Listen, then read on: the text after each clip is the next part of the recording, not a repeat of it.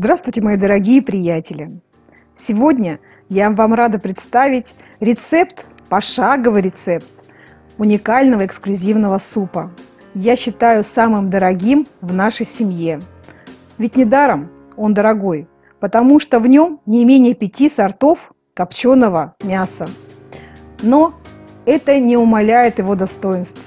Он не менее вкусен – как его приготовить, какие у него есть особенности и какие замечательные секретики и нюансики присутствуют в этом супе, я вам сейчас расскажу и покажу.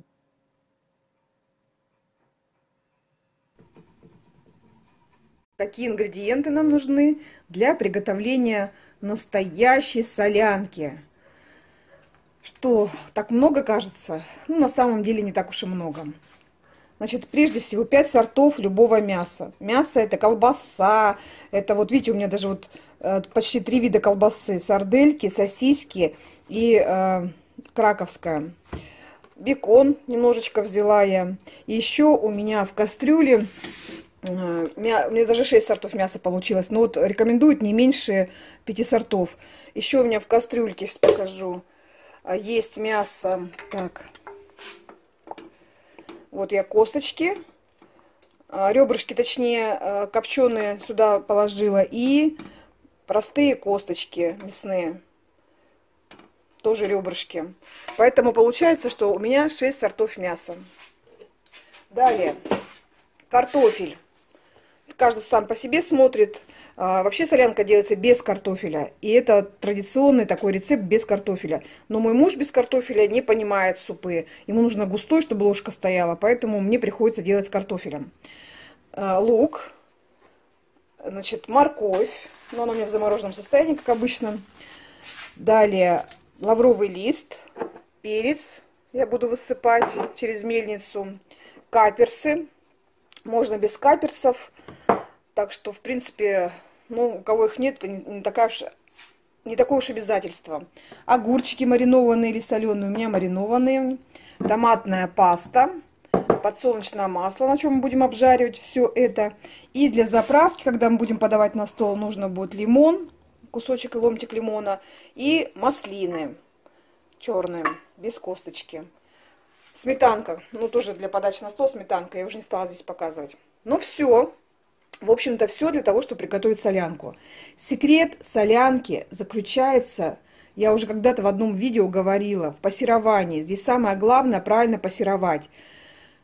Пассеровать нужно морковь, лук и томатную пасту примерно полтора часа на очень медленном огне с закрытой крышкой вот до такой степени, чтобы прям вот он не то что густой был, а чтобы даже суховатый был. Ну, конечно, не перегорелый, а именно суховатый. Если хотите, добавляйте туда бульончика, не воспрещается. Но вот полтора часа эта смесь должна пассероваться. Вот единственное, в чем а, как бы моей солянки секрет. Ну, не только моей, я очень-очень давно это вычитала и э, стала применять, и стала делать солянку. Именно таким образом. Ну, всем нравится, поэтому продолжаем дальше. Лук поджарился уже с морковочкой. Морковочка растаяла. Теперь можно добавить томатную пасту, сделать на медленный огонь, огонь и закрываем крышечкой. Все. И оно медленно пассируется. Если мы увидим, что подгорает, добавляем бульончика, не забываем. А в это время я достала из бульона мясо, точнее ребрышки. Вот уже их разделала. Сейчас вот осталось только копченые ребрышки разделать. Порежу на мелкие фракции и обратно опущу в бульон. И начну приступать к нарезке своих копченостей. Огурчиков и так далее. Ну что ж, добавила томатную пасту, немножко бульона. Все сделала на медленный огонь и накрываю крышкой. Так, где моя крышка?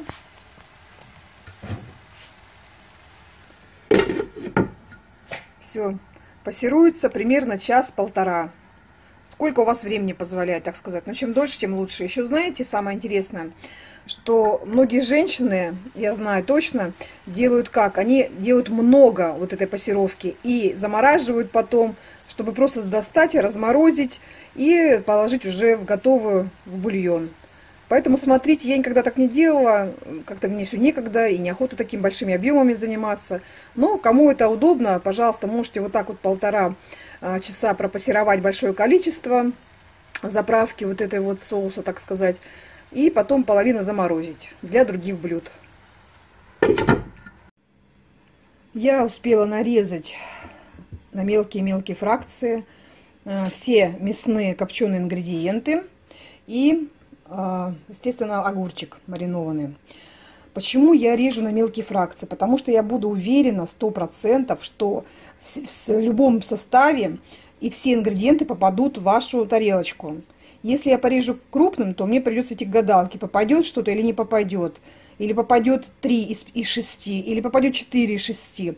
А когда мелко, я вот как-то уже уверена, что вы вкусите а, точнее, я вкушу, конечно же, вот уже вкус всех в сборе а, копчености. И еще один секретик, нюансик, секретик. Я называю секретиками, многие говорят нюансик. Кому как удобно. Значит, еще один секретик есть у солянки. В солянке должно быть обязательно присутствовать молочная сосиска или сливочная. Вот прям обязательно, потому что она должна придавать вашему супчику мягкость, нежность. И ее должно быть в достаточном количестве. То есть, если вы э, других ингредиентов кладете там одну, скажем, одну шестую, то сосиски можно положить две шестых. Ну вот у меня сосиска, вот ее целая, целый такой островочек. Поэтому я сейчас размешаю все вместе, перемешаю и все, начинаю сбрасывать э, суп. Значит, э, копчености и огурчики я сбрасываю одновременно. Все, сбрасываю. Все сбросила. Получается вот такой у меня уже бульончик. Можно сказать, уже супчик получается. И те, кто давно смотрит мое видео, помнят о том, что когда я варю супы, я в первую порцию соли, а соль отделю а, на две порции. Значит, первую порцию соли я кладу всегда сразу же в бульон, еще до закипания бульона. А вторую, когда в конце варки. А, для чего я уже это говорила? Иногда бывает так, что вторую порцию мне даже не приходится класть, потому что э, одной порции от э, ингредиентов, которые я добавляю в супы, хватает. В этот раз я также добавила неполную столовую ложку соли уже в бульон. И вот в конце варки я попробую, если понадобится, по вкусу досолю. Так как здесь соленые продуктов много, в том числе и огурчики и колбасные изделия, они тоже очень соленые, копченые. Поэтому понадобится мне дополнительная порция соли или нет, я не знаю. Будем смотреть. Все закипает, делаю на медленный огонь. И э, под крышечка будет томиться. Еще один такой вот нюансик, секретик. Многие э, спрашивают, почему я не обжариваю Э, как копчености, потому что во, во многих рецептах копчености обжариваются отдельно.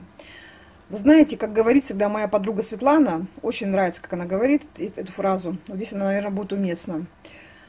Во-первых, мне лень обжаривать, а во-вторых, придумайте сами. Ну вот лень мне. Может быть и нужно обжаривать, но так как я хорошо обжариваю э, свою пассировку, то этого, я считаю, будет вполне достаточно. Так, надо, вот видите, уже подэтывается, надо, подгорает маленечко, надо еще будет добавить бульончика. Прям вот так вот добавляю.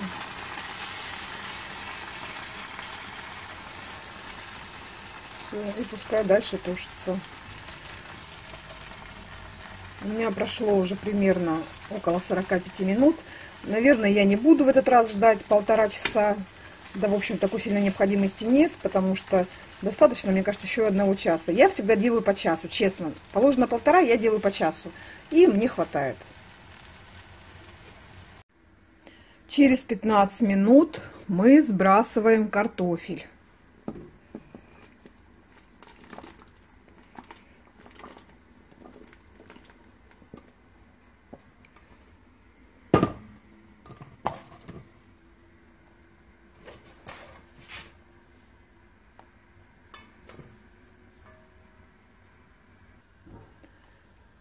Ложка стоит, можно сказать, поэтому мужу должно понравиться.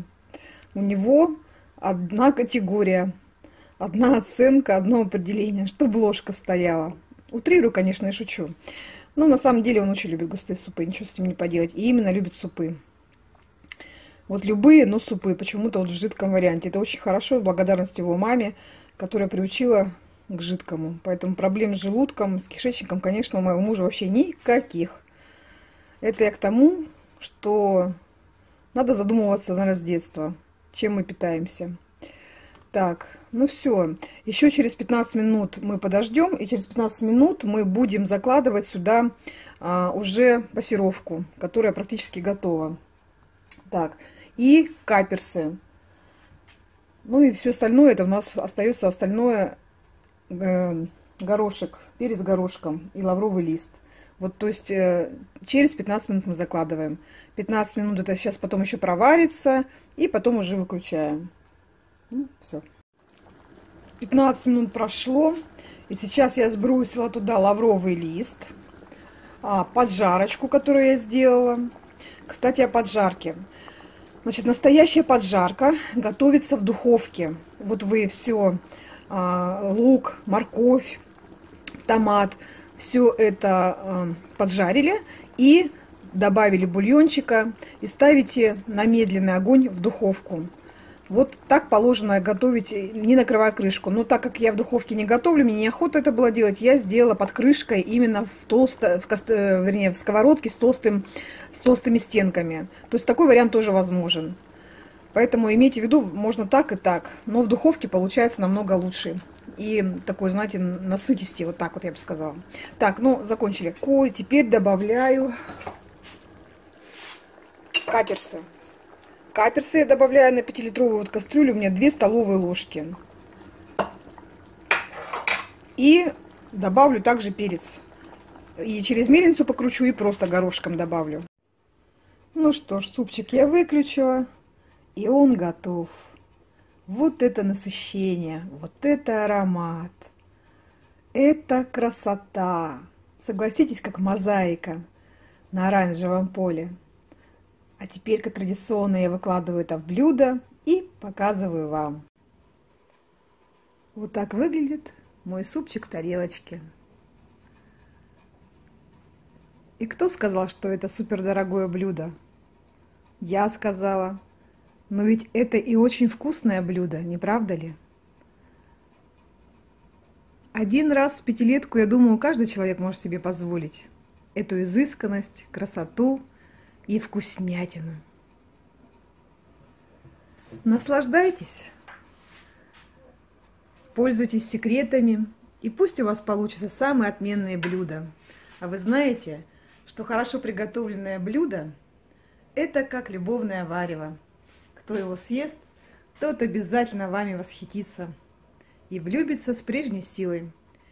Поэтому влюбляйтесь и будьте любимы.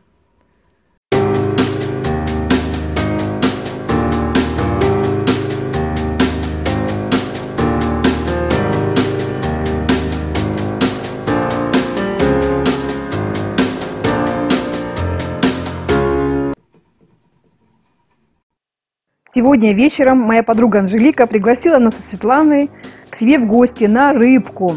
Очень вкусную рыбку муксун. Я одела вот такую шапочку, надеюсь, вы ее помните, когда я купила ее.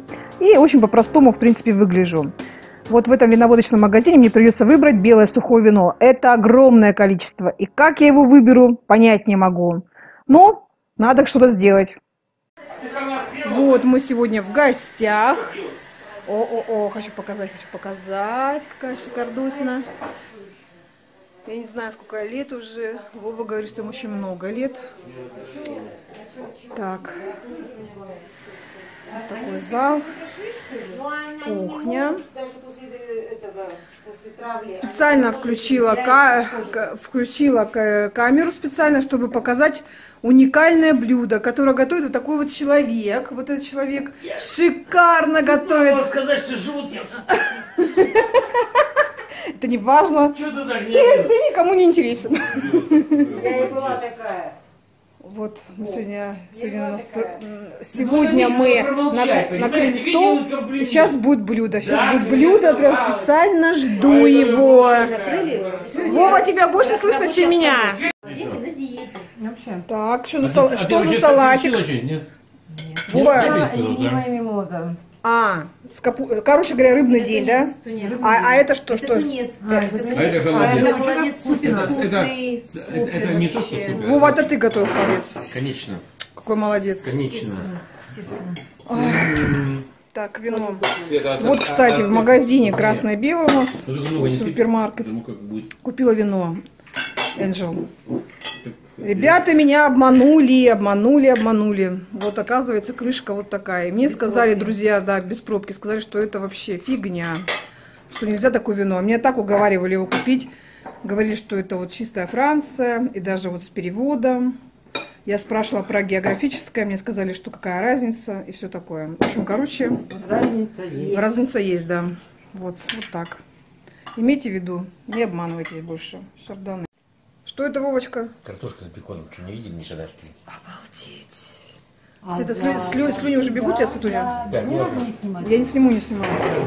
Себе.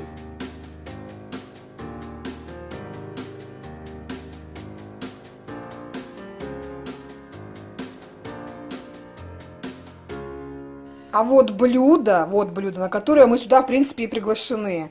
Вов, ты объясни мне, где тут... А, вот карась. Вот карась. Это окунь, сама ты карась. Окунь. А сказали карась, карась. Я думала, что Не это карась. говори, кара- караси лежат в холодильнике. Мне Анжела сказала, что карась. А Не это надо, давай. муксун. Вот, честно говоря, для меня, вот вообще глупынди, да, для меня что карась, что окунь, что муксун, все едино, вот честное слово. Ну, правда, ну не разбираюсь я. Минтай. Вот сейчас мы это все будем кушать. Вот единственное, что я ментай различаю. Вот положила себе эту рыбку, окуня на тарелочку, а внутри... Ну, Я не стал чистить живу эту с него. Это же муксун. Нет, это... Это муксун, ты чё, мать? Как муксун-то? Он сказал, что это окунь. Он мне дала окунь. Сейчас вот он муксун делает, а это окунь. Ну не, этот, не, не путайте меня, пожалуйста, и людей. С чем этот окунь у тебя? С помидорками? Это муксун у тебя. У тебя муксун. Первая рыба муксун. А, да? Ну, простите, это муксун. Простите, простите. Не оценила я кулинарного совершенства, простите. Ну, я не разбираюсь, ну, простите. А это с помидорками, да, рыбка? С луком, а еще что? Вот там. Зеленью. А, зеленью. Угу. Ну. Ничего не разгоняет. О, какой нежный вкус. Ой, как классно. Суп Тебе что было. Очень нежный, очень. Я не пойму, как, как есть эту красоту. Ее и просто выковыривать, Вова, как? Вилкой вот так возьми, поддевай куски и ешь. А, прям сразу слист вообще, да? Мгм, Поняла.